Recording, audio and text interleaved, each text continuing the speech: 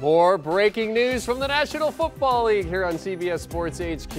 Alvin Kamara has been ruled out for Sunday's game against the Philadelphia Eagles with a knee injury. His second straight game on the sidelines after missing last weekend's loss to the Titans. Kamara put in a limited practice on Wednesday but did not participate in Thursday or Friday's practice. New Orleans will also be without starting offensive tackles Terron Armstead and Ryan Ramczyk for Sunday's game in Philadelphia. For more on this, Fantasy Football Today's Dave Richard joins us. Dave, obviously not ideal to have Kamara out for a second straight week.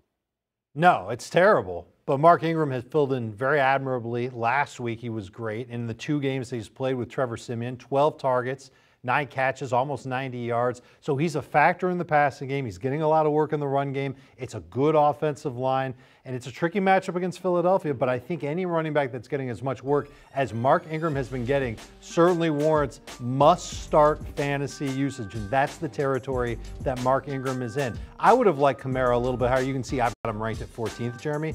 I would have liked Kamara a little bit higher than Ingram, but Ingram has really looked the part over the last couple of games with New Orleans, specifically last week, just the fact that he was so involved with the run, with the pass. I think it's going to continue. But fantasy managers who have Alvin Kamara and didn't have Mark Ingram on their fantasy team, they need to go out right now, see if Jeff Wilson is on the waiver wire. Jeff Wilson is the running back expected to replace Elijah Mitchell. A lot of math here, follow along. Expected to replace Elijah Mitchell as the lead running back for San Francisco okay. in their matchup against Jacksonville. So if you want a running back that's not Mark Ingram, but maybe gets a workload similar to Mark Ingram and is actually not a bad guy, not a bad running back, and in a great offense, Jeff Wilson available in 44% of CBS Sports leagues has to be rostered right now. Honestly, you should get Jeff Wilson whether you're loaded at running back or you've got Alvin Kamara and you're absolutely desperate. Mm, former member of the North Texas Mean Green, Jeffrey Wilson. That's exactly right. So with Mark Ingram, though, I mean, his production's been good, but if Kamara is sidelined for, say, another game or another couple of weeks, Dave, I mean, do you, do you see Ingram as being a guy who can carry that load for more than three, four games? I think at some point he will wear down a little bit. He's 30 years old, over 30 years old, yes. so he could wear down, but he's also been a gamer his entire career. So anytime he's been given an opportunity, he's done well with it. I would continue to rely on Mark Ingram until the wheels fall off, and I think that's going to be the Saints' plan as well. So what's your level of concern then with Kamara?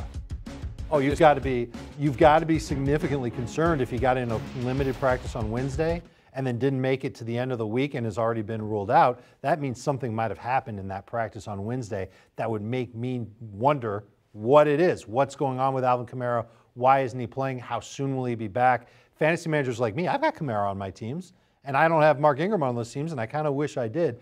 This is where you've got to start making sure you've got a plan, not just for this week. You have to have a plan for this week, but also rest of season just in case he ends up going on IR, missing three weeks. I don't want that to happen. There's no word of that coming down yet, but it is an option for the Saints, especially if something did go wrong with Alvin during that fateful Wednesday practice. And you're hope you're hoping that you're in a league that your trade deadline has maybe been extended a little bit. Maybe till Sunday, right? Kamara may be a guy that you you move away from at this point. Well, if you trade him now, you're not going to get anything close to fair value for Alvin. Uh, in the team that would look for Alvin Kamara, let's say I'm four and six. Okay, maybe I went up against the Patriots defense on Thursday night. I'm staring at four and seven. I don't want anything to do with that. I've and Alvin Kamara is my best tradable asset, even though I know I'm not going to get fair value for him.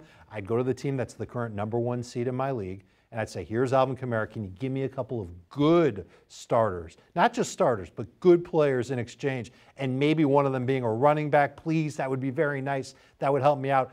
That's the type of team, a team that's focused. They've got eight wins already, they've got nine wins. They're headed to the fantasy playoffs.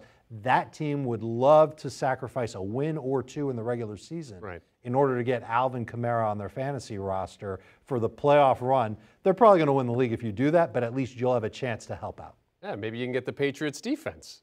Well, it's a little late in for exchange. that now. In exchange. You got a time machine? I could use one of those for. Hey, the August. Patriots defense scored 70 points in a league that I was in last night with yeah, the shutout. So, that's unbelievable. Uh, Dave Richard joining us here to talk about Alvin Kamara being ruled out for week 11 uh, for the NFL season. As Dave mentioned, Mark Ingram is a guy that if you don't have him, uh, you know, uh, RIP to your fantasy season if you're relying on Kamara. But